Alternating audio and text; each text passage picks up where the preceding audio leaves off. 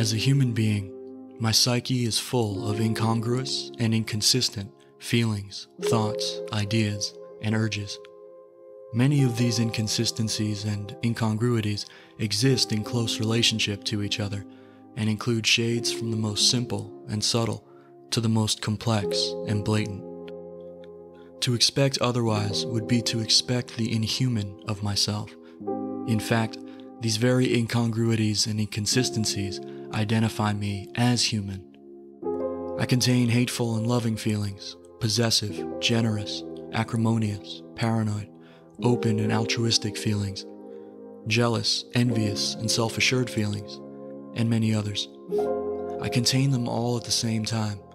They exist side by side, and they never exist in pure form. They are always there in combinations and patterns, at least as complicated as the biochemical makeup of a molecule of life.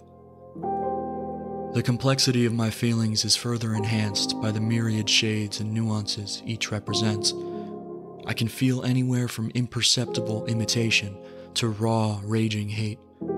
I can feel anywhere from a slight sense of ownership to utter possessiveness and bitter chauvinism. The complexity of my inner psychic life and my life as a relating human being is further complicated by the fact that the people to whom I relate are as complex as I am. We do perceive each other. We do live within the matrix of the culture into which we were born and which constantly affects us as we in turn contribute to it. And none of what goes on in us remains static. Like the biological living cell, like the molecule of life, like the universe we live in, all is in a constant state of flux. To demand congruity, consistency, fixed contracts, irrevocable decisions, clear cut choices and ideas, predictable fixed behavioral patterns, purity of purpose, and simple, well delineated feelings, free of ambivalence and ambiguity, in a world that becomes increasingly more complex every second, is demanding a condition that is antithetical and foreign to the state of being a person. It is also asking for a death warrant. Ultimate smoothness and lack of inner incongruity, total lack of inner conflict and lack of struggle, and constant adaptation only take place in death itself.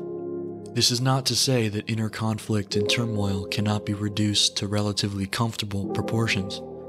As the quest for utter inner peace and perfection and the attempt to have it all is reduced, relative comfort ensues. But comfort can only be relative. Knowing this is of immediate value in reducing self hate born of impossible expectations. I must insist on the right to changes of feelings and even complete turnabouts in how I feel. I must insist on the human right to change my mind.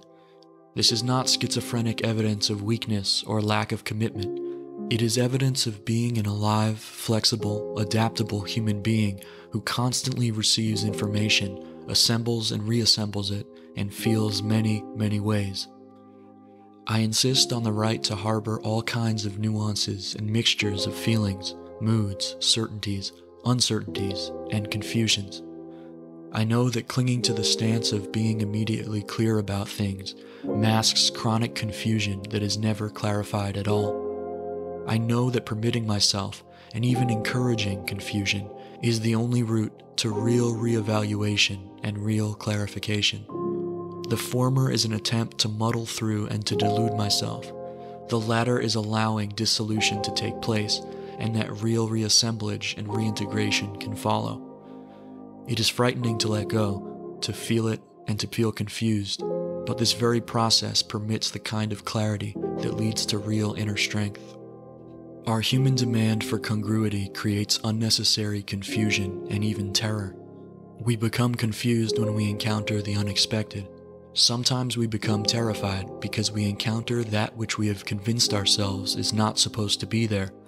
If we attempt to hold down and out of the way any feelings or ideas that are incompatible with our contrived notions of ourselves and the world, surely revulsion, horror, terror, and even panic will ensue whenever these incongruities threaten to emerge. Repressed feelings are the ones that burst forth to produce unwanted and incomprehensible acts. To the extent that we honor all aspects of ourselves, we remove revulsion, self hate, horror, and terror from our lives. As whole human beings, we are the creatures of the greatest complexity on this planet. Respect for this complexity includes our insisting on acceptance of the inconsistent and incongruous.